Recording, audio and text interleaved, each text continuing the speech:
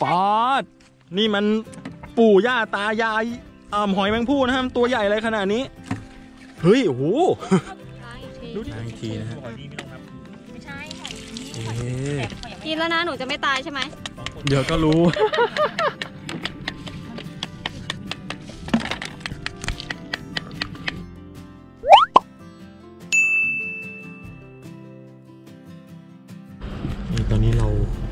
จะเอารถมาขึ้นเรือแล้วนะฮะวอลล่าวอลล่านะฮะชื่อเรือนะฮะ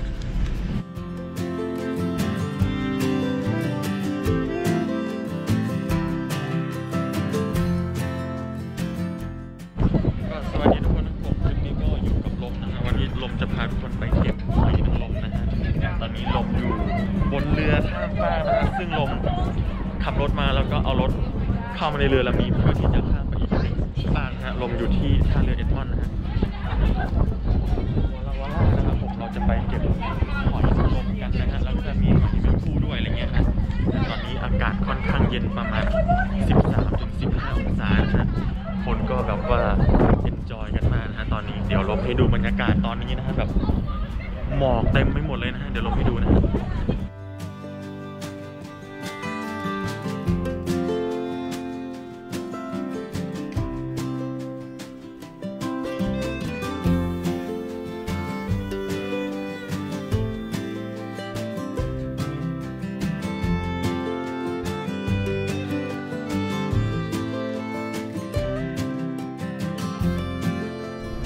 บรรยากาศ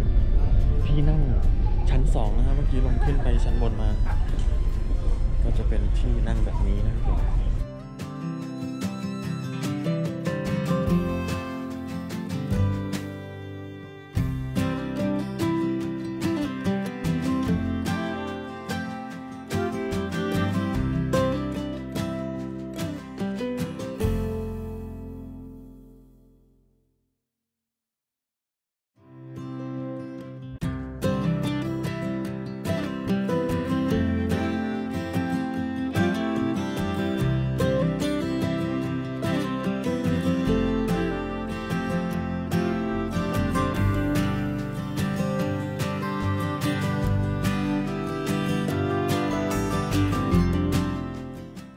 นี่ครับ ตอนนี้เราขับรถมาถึงเรียบร้อยนะฮะเบียนนอนบีชนะครับผม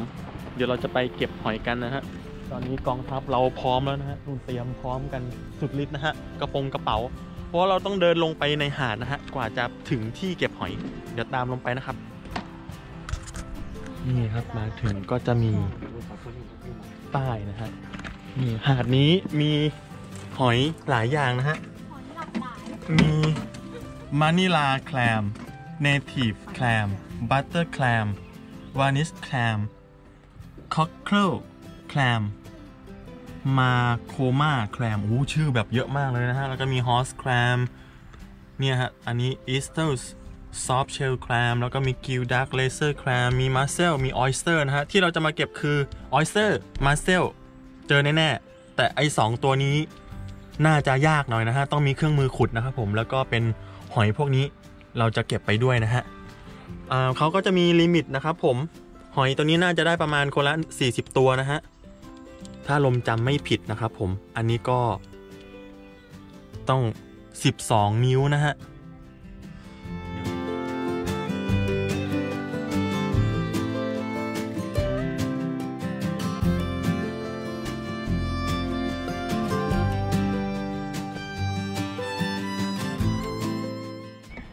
นี่แต่เขาก็แนะนำว่าไม่แนะนำให้อ่ากินสดนะฮะให้ปรุงสุกนะครับผม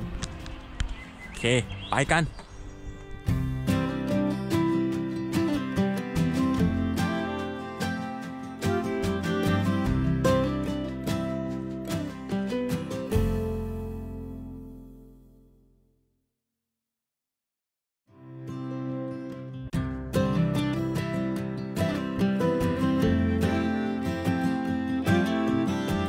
หลังจากที่เราเดินมาประมาณสัก 10 นาทีได้นะฮะตอนนี้เราถึงเกือบจะกลางหาดล้วเนี่ยฮะน้ำเริ่มลงไปเยอะแล้วนะครับ เดี๋ยวเราจะพาทุกคนไปเก็บกัน แต่ตอนนี้แบบว่าแดดใช้ได้เลย แดดด้วยแล้วก็มีลมทะเลนะฮะแต่ถามว่าอากาศดีไหมอากาศดีนะ แต่ก็ร้อนนิดๆนะครับผม เดี๋ยวเราไปลุยกันนะครับผม ว่าจะได้หอย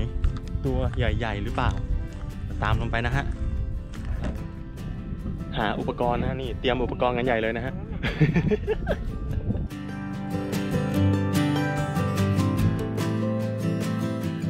มาถึงไม่ฟังเสียงนะฮะ ลุยเป็นหอยเป็นพวกมานิลาแคลมนะฮะนี่นี่ฮะเดี๋ยวเราจะวัดขนาดนะฮะ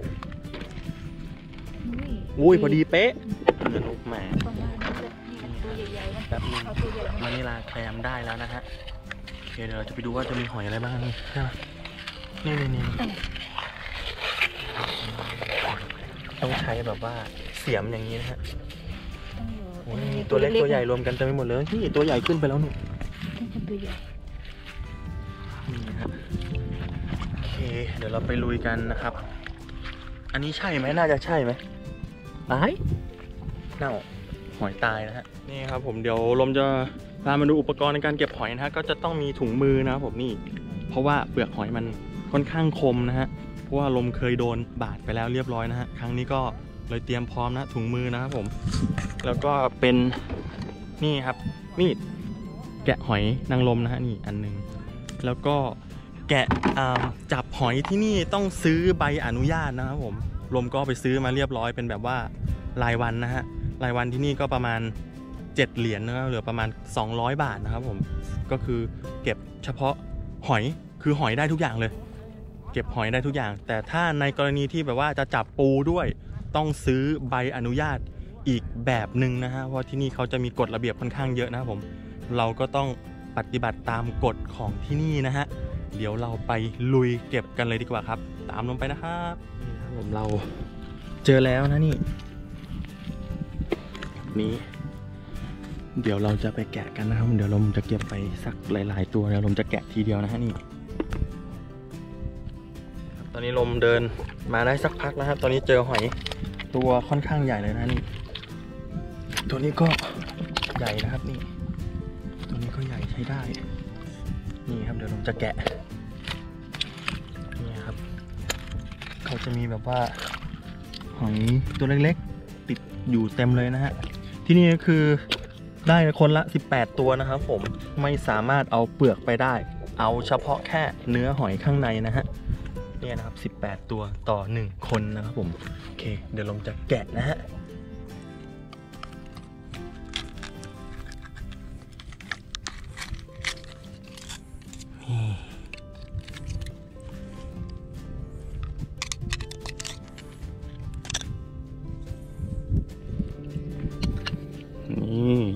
วยนะฮะตัวนี้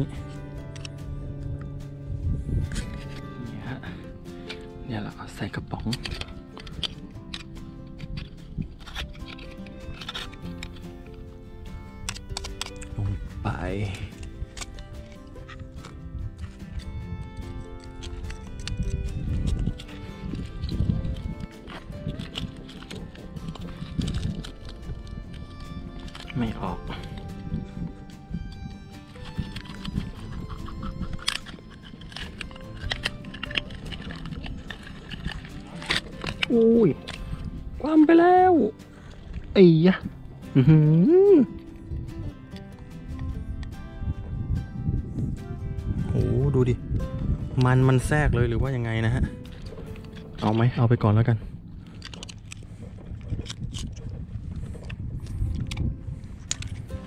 โอเคนะฮะ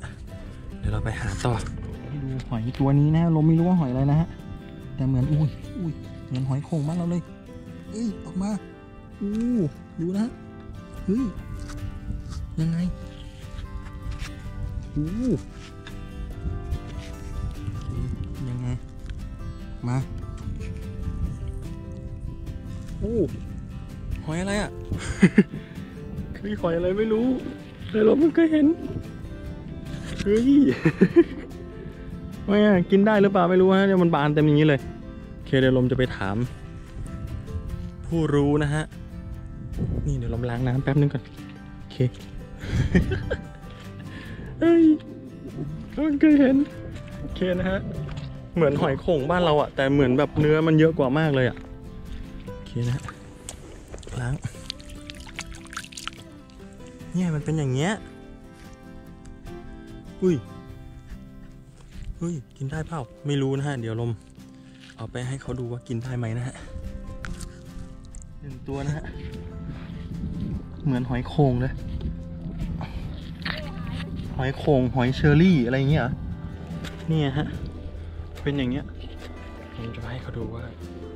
มันกินได้ไหมนะลมเจอสองตัวแล้วนะครับผมโอเคหอยโข่งเลยดูดิ ได้เหรอ ไม่รู้ ไม่รู้เก็บมาก่อนเนาะ ไม่รู้ว่ากินได้ไหมกินเนี่ได้ยไหมอะ เนี่ยดูดิ มันต้องกินได้สิ มันต้องกิน ทุกอย่างกินมัได้ต้องหมกินดได้แต่คนนี้จะกินแล้วนะฮะเฮ้ยเนี่ยแบบมันอยู่มันคว่ำอยู่อย่างเงี้ย แล้วไอ้ตัวเนี้ยมันก็ลงไปในดินนะ อันเนี้ยมันลงไปในดิน อ๋อเจอแต่ฝามันขึ้นแล้วมาก้นมันก็โผล่อย่างเงี้ยเนอะดูดิ อุ้ยเชี่ยวใส่ด้วย เจอเจอหอยฉี่ใส่ หอยโข่งมาแล้วน่าจะกินได้เนาะ นั่นน่ะดีดูดิกินเลยเหรอ จะไหวเหรอ เออ ชิม เอานะ ชิมเลย ชิมเลยมันไม่ใหญ่แต่แต่ชิม อันนี้เซียนโมนะฮะใส่หวานเซียนโมจะกินหอยไปแล้วนะฮะ เป็นไง เค็มเค็ม เค็มเค็มหอยเค็มไอ้ยาเค็มแต่กลืนนังเอื้อกเลยนะฮะเมื่อกี้อื้อหือต้องยอมเขานะฮะแต่อยากรู้เนี่ยหอยเนี่ยเอ้ยมันเริ่มมันเริ่มมันเริ่มยุบแล้วเว้ยเออว่ะมันมันหดหายเข้าไปในกระดองเข้าไปกระดองไงนี่พอฝามันก็จะเป็นอย่างนี้เอ้ยเอ้ยอุ้ยมันฉี่พี่อย่าแกล้งมันเนี่ยนี่มันพี่ฝาอยากอย่างรู้นี้มันกินได้เปล่าเหมือนหอยโข่งเสิร์ชบ้านเรานี่เลพี่ยเสิร์ช Google Google อะถามดิถาม Google นี่หอยอะไร เนี่ยอ่านไม่เป็นดูดูดิ เอาเอาใส่กระบะไปก่อนไม่ใหญ่อะ ไปถามครูรู้พี่เค็มมากเค็มใช่ไหมเค็มไม่ไหวหอยที่นี่เค็มนะฮะน้องเขาบอกหอยอ๋อนี่นี่เวลามันบีบเข้าไปมันก็จะยุบเข้าไปอย่างนี้หอยนางรมตรงทางน้ำไหลอะตัวใหญ่อืมนู่นต้องเดินไปไกลนู่นนู่นอะเอาเหรอ มีแต่ตัวใหญ่จริงเหรอเพอคนไม่ไปมั้งไกลๆบที่มันอยู่ตรงนู้นพี่ว่าไปไม่ถึงโบไปเอาหายใหญ่หอยใหญ่ไป ไปตามต่อตามไป นู่นเลยเหรอ เออหอยแมงผู้อุ๊ยเหรอ ลมเจอแต่ตัวแบบจริงเหรอไปไปไปไปใหญ่อยู่นะไปอะนะพี่นั่นพี่ออสไปด้วยไปไปโอ้พี่ออสทำไมได้แต่ตัวใหญ่ๆอะอ้าวเรียกไปตัวนี่เดียวนะพี่ออสนี่ฝีมือมากนะครับ เก็บเร็วมากเลยเนี่ย เขาเซียนสุดยอดนะฮะเซีโอยนเคเดี๋ยวเราไปดูอีกหนึ่งคู่ตรงนู้นนะฮะอะไรไปนะอันนังลมเหรอมันนั่งลมไม่ค่อยมีใช่ไหมเยอะครับนู่นอ๋อเหรอต้องไปทางนู้นมีตัวใหญ่โอ้นี่ยพี่กำลังเก็บแฟมนี่นะครับพี่กุ๊กเราเก็บเป็นมานิลาแคลมนะฮะตรงนี้ อ่าโอ้ได้ได้ตัวใหญ่หลายตัวนะฮะได้หินด้วยนะครับผม ได้หินด้วย นี่นี่ดูฮะสิแค่มาเจอหินเนี่ยมีใครวาดไว้ไม่รู้ เอ้ยเจ๋งอ่าน่ารักเปล่า เป็นตาเลยนะฮะอ่าเป็นตามีปากด้วย ถ้าบ้านเราเป็นตามีปากเท่าไหร่หวย ดูสิลงไปตามหาหวยนะฮะเขาจะมอดูว่านี่ครับอันนี้พี่รวยเราอืมโยนโยน อันนี้ เลือกกันอืมเลือกอันนี้คือคัดนะฮะอันนี้คือคัดก่อนว่าขนาดได้ไหมนะครับ นี่โอ้โหเป็นไงอุปกรณ์พร้อมมากนะฮะสุดยอดนะครับ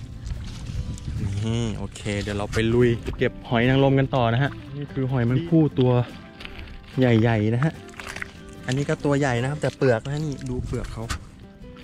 แต่อันนี้เราได้นี่ตัวใหญ่ให้พี่ออสแบกหนักๆ เดินตรงไป ตรงนี้เป็นมานิลาแคมนะฮะต้องเรียกว่าเป็นเป็นกองเลยนะนี่ สุดยอดฮะโอ้มีแต่ตัวใหญ่ๆ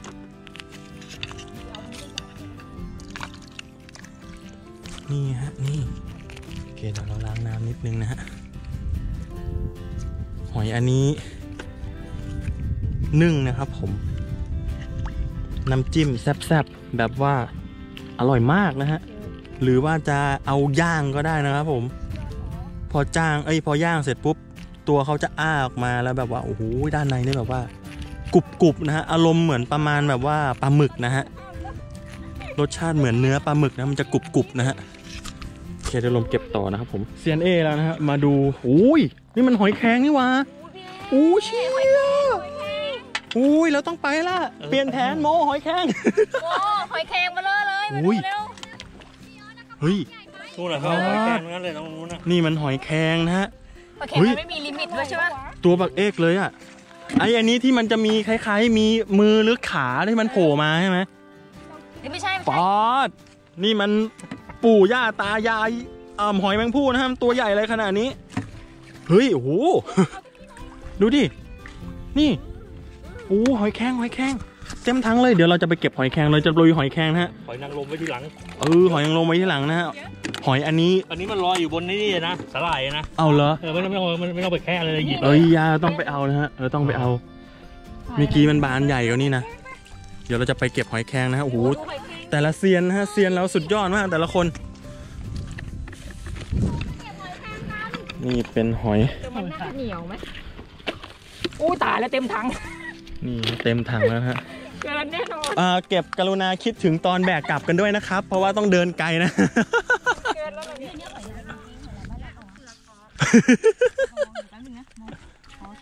นี่ครับทีมงานเราเราจะมารวมตัวกัน เราจะไปเก็บหอยแครงนะฮะว่ามันต้องเปลี่ยนเป็นหอยแครงนี่ดูดิไม่รู้เหมือนกันในนี้ค่ะพี่รวมในนี่พี่รวยเหมือนที่พี่รวยเก็บหาดนู้นอะพวกนั้นเขาเก็บกันเป็นกระสอบไปนั้นต้นไอ้ยะเหรอ ไม่รู้ทำไมเราไม่เอากระสอบมาถังเราใหญ่อุ้ยใส่ได้เยอะโอ้ดูดิไม่เอาเหรอไม่เอาครับมันเยอะแล้วแต่ละคนเต็มถังไปหมดแล้ว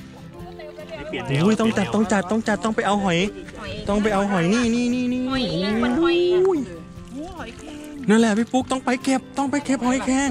โอเคฮะเดี๋ยวเราจะลุยไปเก็บหอยแครงกันนู่นนะฮะโอเค ลุย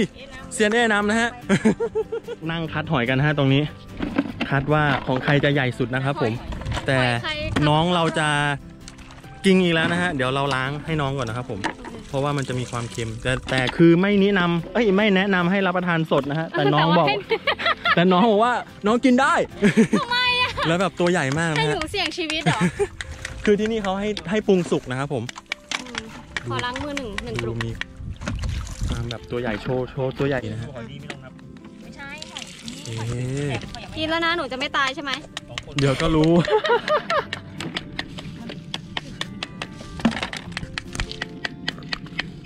เป็นยังไงเค็มไม่จำกัดไม่ได้เขียนนะอื้อหือกำลังนึกถึงพาวหารสชาติอยู่นะฮะตอนนี้พาวตัวนี้ก็ถ้ามีเป็นน้ำจิ้มซีฟู้ดมันคือเด็ด โอ้โห ถ้ามีน้ำจุ้มซีเอ้ยน้ำจิ้มซีฟู้ดนี่คือแบบเด็ดนะฮะโอ้โห เด็ดน้องเพราะว่าเขาอันแบบนี้มันเค็มน้อยลงแล้วเค็มแล้วเพราะเราล้างนะฮะผมโอเคน้องเราจัดไปแล้วเรียบร้อยแล้วทางนี้ก็ยังอ่าคัดหอยต่อนะฮะคนละ 40 ตัวนะครับผมอันนี้40 ตัว 40 ตัว หอยใหญ่จนเราต้องร้องขอชีวิตนะฮะ คือแบบฮู้เลยฮะน้องเดี๋ยวเออจะได้แล้วนะน้องฮู้เลยนะฮะ ไปไปเก็บหอยแครงก่อนเดี๋ยวค่อยกลับมาเอ้ยเอออย่ามาเดี๋ยวน้ำมันขึ้น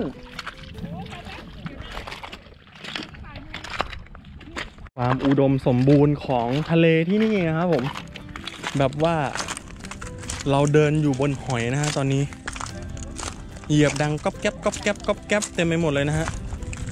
มีทั้งหอยนางรมหอยแมลงภู่แล้วก็มีมานิลาแคลม หรือว่าแคลมหลายสายพันธุ์มากนะครับผม แล้วก็มีปูเล็กปูน้อยเต็มไปหมดนะฮะ แต่ตอนนี้เราจะไปาตามล่าหาหอยแคลงนะครับผม เดี๋ยวเราจะไปดูว่าจะได้เยอะไหมเฮ้ยเนี่ยมันเหมือน มันเหมือนว่ามีใครมาวาดบนหลังมันด้วยนะ มันเป็นสิ่งมันเป็นเหมือนแบบปลาดาปลาดุกประเภทปลาดาวอะเฮ้ยไม่ควรเก็บไปเพราะมันมีคุณค่าต่อระบบนิเวศเอ้ยยะน้องเขาแบบแน่นอนฮะพอน้องพูดปุ๊บเรารู้สึกผิดขึ้นมาทันทีนะฮะ เดี๋ยวเราจะเก็บไปสักสี่ห้าตัว ดูดิ ไม่เคยเห็นนะอย่างเงี้ยเนี่ย มันมีรูข้างในด้วยนะนี่ครับมันเป็นหลังๆอะลักษณะเหมือนใบไม้นะครับผม เฮ้ย สวยอะนี่ครับ แบนๆ เต็มไปหมดเลย เนี่ยหอยที่ลมเก็บไปอะ เนี่ย นี่นะหอยลมไม่รู้ว่ากินได้หรือเปล่านะครับ ถ้าใครรู้นะ คอมเมนต์บอกลมทีนะครับผม ปีหน้าลมจะได้มาเก็บนะครับเนี่ยครับเ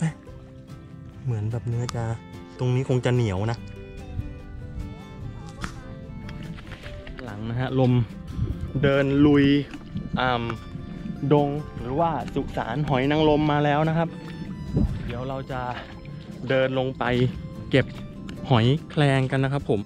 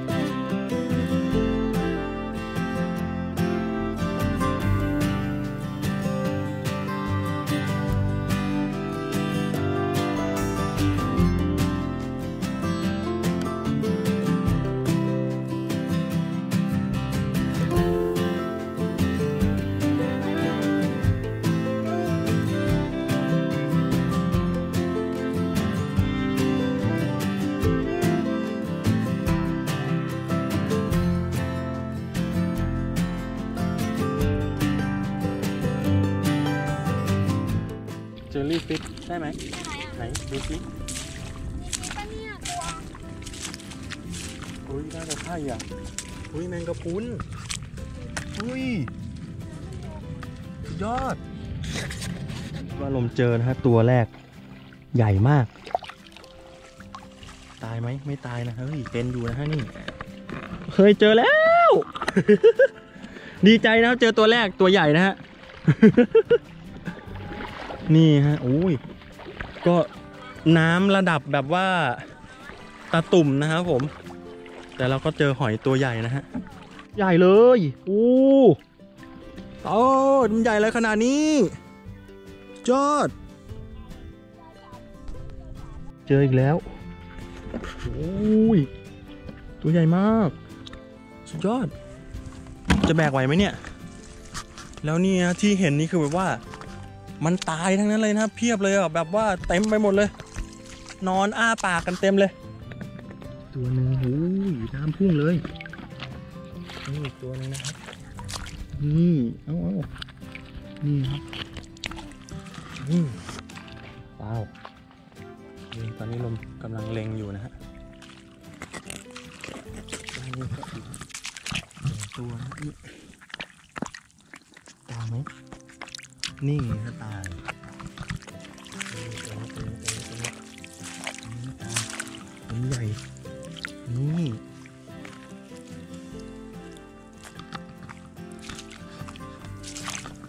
โอ้ตัวใหญ่นะฮะว้าว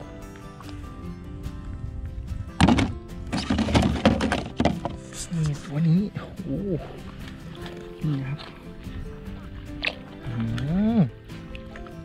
ยอดเปล่ามีลิมิตเปล่า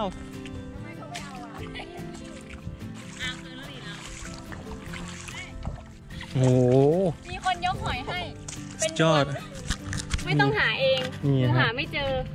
น้องบอกว่าไม่ต้องหาก็ได้ไม่เพต้องราะว่าหามี ก็มีคนโยนหอยให้มีจ้าคนเอามาให้นะฮะอุ้ยป้าด สุดยอดมากนะฮะ คือมันใหญ่เยอะมากอะดูมือดิดูมือหนู เข้ามาทีหลังเราอะนะ มาที่หลังเขาได้ไปแล้วนะฮะนี่มาให้เรานั่นแหละเดินกลับไปแล้ว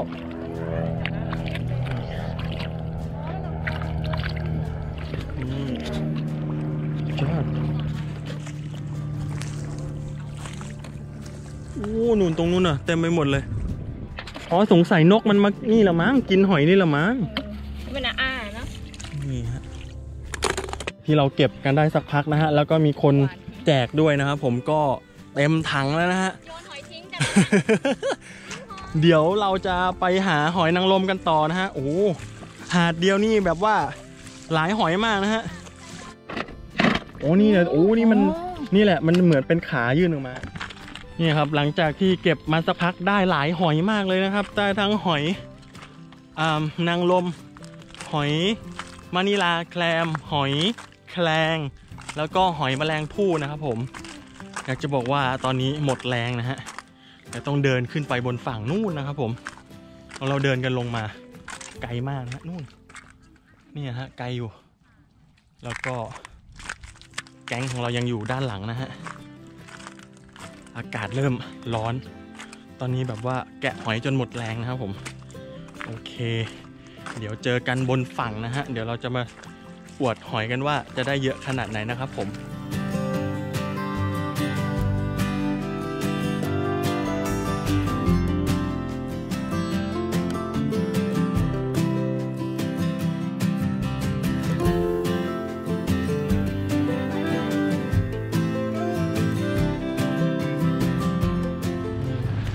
หลังจากที่เก็บกันมาได้สักพักขึ้นมาด้วยอุ้ยทั้ง นั้นนะฮะไอ้ที่ไม่ expect ว่าจะไปเอานี่ครับ อันนี้จะเป็นหอยนางรมที่เราเก็บมานะฮะนางรมไม่สนเลยนี่ได้เราหอยนางรมเราแทบไม่เอาเลยนะฮะเราเอาแต่หอยหอยคลางเนี่ยฮะหอยคลางยอดคลางแน่เลยไปไปเอาไปทำกินแล้วไม่อร่อยที่คลางโอ้ยโอ้ยโอ้ยไม่น่าแบกเลยอะไรมาอย่างเงี้ยเก็บหอยเสร็จแล้วก็มากินข้าวนะครับนี่ผมไปด้วยเด้อนี่คืออะไรนี่ครับผมอันนี้เป็น ทอดมันนะฮะ แล้วก็เดี๋ยวส้มปลาทูตำยังไม่มาเลยส้มตำกำลังมาฮะ อันนี้เป็นแกงหนูนะฮะ ผัดเผ็ดหนูนะครับผมหนูมีอ่าปลาหมึกทอดนะครับ แล้วก็มีไส้กรอก แล้วก็มีอันนี้แกงเห็ดนะฮะโอ้แบบว่า ข้าวสวยไหม สุดยอด นี่มีข้าวอ๋อนี่สวยข้าข้าววเหเหนีนียยวว อะไรคือครบนะฮะ ที่สำคัญมีปลาดุกย่างด้วยนะครับผม นี่ปลาดุกย่างเผยตัวออกมาซะดีๆ นี่ยังไงพี่ปุ๊กกับส้มต ย่างฮะอุ๊ยเดี๋ยวเราไปดูเบื้องหลังความอร่อยนะครับผม เดี๋ยวเราตามไปดูแม่ค้าส้มตำเปิดท้ายขายส้มตำนะครับผมนี่ส้มตำฉุกเราเฉินไม่ได้นี่เราเป็ไม่นได้ไงเอาเอ่อครกมานี่เราครับ เตรียมผมพร้อมที่แบบว่าเป็นที่แบบว่าส้มตำคลุลุกๆนะครับผม กินแบบปรุงน้ำมาเรียบร้อยอันนี้เราก็ไปรับประทานไม่ได้ ต้องห่วงเรื่องความอร่อยนะฮะ เพราะว่าหิวยังไงก็อร่อย หิว ไม่เรื่องเรื่องอร่อยอยู่แล้วครับผมนี่ เชฟ เปิดท้ายขายส้มตำนะครับผม ส้มตำมาเป็นกำลังนะนี่มาแล้วโอ้โหเต็มโต๊ะสุดยอดนะฮะ โอเค จัดเต็ม ใครนั่งกินได้น้อย ใครยืนกินได้เยอะนะครับ จัดไป ไม่เป็นไรฮะอันนี้หนูขาดไม่ได้ อะไรอะซีอิ๊วขาว อ๋อ โอ้เจียวผาขนมจีนเหรอนี่หืมปังมาให้นะฮะพี่ชอบกินกับน้ำปลาเนาะน้ำปลาก็ได้ซีอิ๊วขาวก็เราได้ชอบกินกับน้ำปลาร้า ปลาน้ำปลาร้าสุดยอดนะข้าวเหนียวเฉยๆก็อร่อยแล้วอะคิดดูแล้วกันเพราะว่าหิว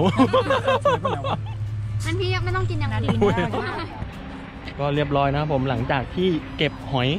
ได้แบบว่าหลายหลายอย่างมากหลายชนิดของหอยมากเลยนะครับผมแล้วก็กินข้าวเติมพลังเรียบร้อยนะฮะอยากจะบอกว่าคลิปนี้สนุกมากแล้วก็อาหารอร่อยมากนะครับผมเดี๋ยวลมจะเอาหอยไปทำอะไร เดี๋ยวรอดูวิดีโอหน้านะครับผมสำหรับคลิปนี้ไปแล้ว เจอกันใหม่คลิปหน้านะครับ ฝากกดไลค์กด subscribe ให้ด้วยนะครับ บ๊ายบาย